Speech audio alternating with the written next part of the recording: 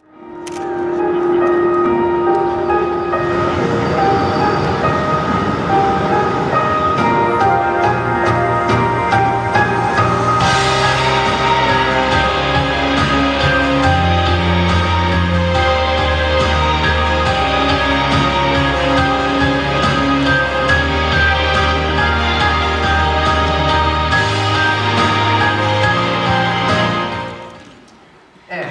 here it is.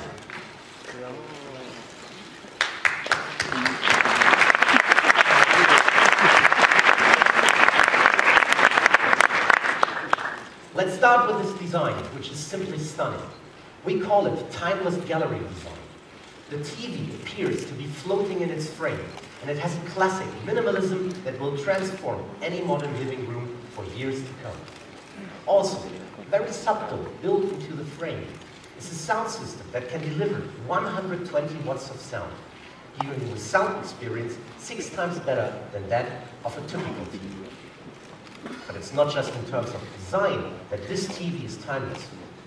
All of its features are beyond state of the art. First, the S9 has a resolution that offers four times the pixels of a traditional full HD TV. That's great, but there's not an awful lot of UHD content out there, is it? I mean, it's going to take me a while to get a return on my investment, right? Mm-hmm. Well, this TV includes an engine that can upconvert HD or full HD content into UHD content. Any show you watch, the engine will convert into UHD. it's as simple as that? Yes, as simple as that. Your favorite show will just in UHD quality on this TV.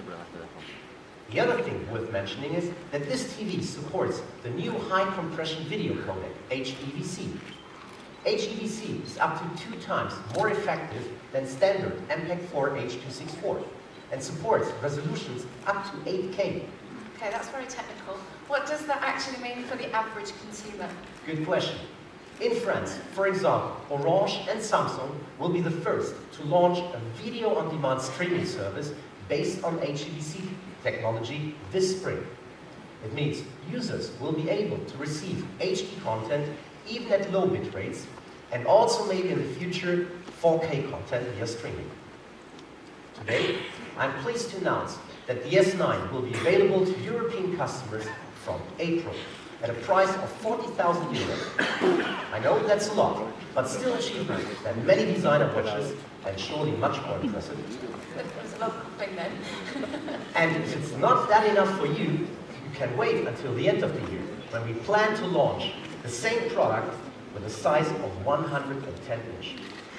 110 inches, I don't think I'll be able to fit that into my lounge. But let's talk now about design. Tell us how Samsung is bringing premium TV design to the European customer.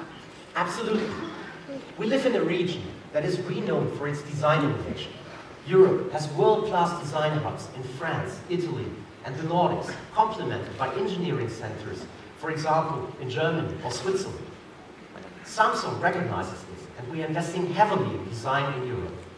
We now have design centers in Italy and the UK that are dedicated to researching European usage trends and bringing those insights into our products.